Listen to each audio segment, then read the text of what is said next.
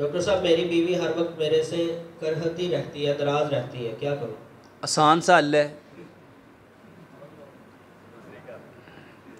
Hello ਭਾਈ ਕਹਿੰਦਾ ਦੂਜੀ ਕਰ ਲਓ अब पहली ਨੂੰ ਤੇ ਖੁਸ਼ ਕਰ ਲਓ ਬਾਅਦ ਚ ਦੂਜੀ ਵੀ ਕਰ ਲੈਣਾ ਯਾਰ मेरे मोहतरम भाइयों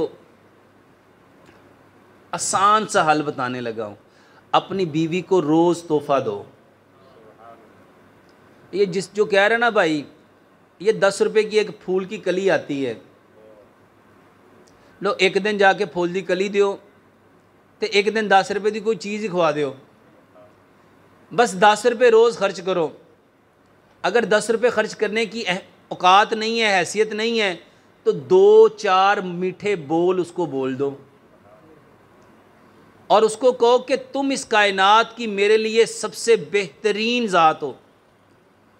तुम्हारा चेहरा देख के मेरे दिल को फरहत मिलती है तुम्हें देख के मेरी रूह को तस्कीन मिलती है तुम जब से मेरी ज़िंदगी में आई हो बहार आ गई है ਤੇ ਜਦੋਂ ਕਹੋਗੇ ਤੈਨੂੰ ਵੇਖ ਕੇ ਮੈਨੂੰ ਤਾਪ ਚੜਦਾ ਹੈ ਤੈਨੂੰ ਵੇਖ ਕੇ ਮੇਰਾ ਬਲੱਡ ਪ੍ਰੈਸ਼ਰ ਵੱਧ ਜਾਂਦਾ ਹੈ ਘਰ ਆਵਾਂ ਤੇ ਮੈਨੂੰ ਤੇ ਤੇ मोहतरम भाइयों ਤੇ ਫਿਰ ਉਹਨੇ ਵਿਚਾਰੀ ਨੇ ਕੋਸਣਾ ਹੀ ਹੈ मेरे मोहतरम भाइयों बेहतरीन आप अपनी बीवी को मिलो, उसे कहो अस्सलामुअलैकुम कभी उर्दू में भी कह के देखो, अल्लाह की तुम पे सलामती हो।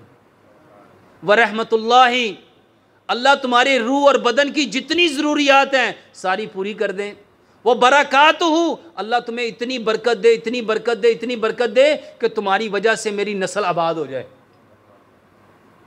कभी उर्दू में भी दुआ दे के देखो मेरे मोहतरम भाइयों, नबी सल्लल्लाहु अलैहि वसल्लम सलाम को तोहफ़ा कहा करते थे।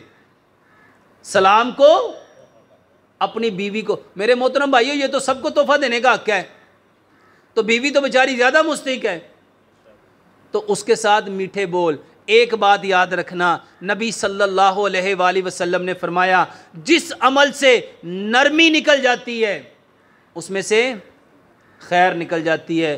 अपनी बीवियों से नरमी से पेश आओ, मोहब्बत से पेश आओ, प्यार से पेश आओ, इकराम से पेश आओ, इज़्ज़त से पेश आओ, तहजीब से पेश आओ। वल्ला उनको सिर्फ़ मीठे बोल चाहिए और उनको कुछ नहीं चाहिए।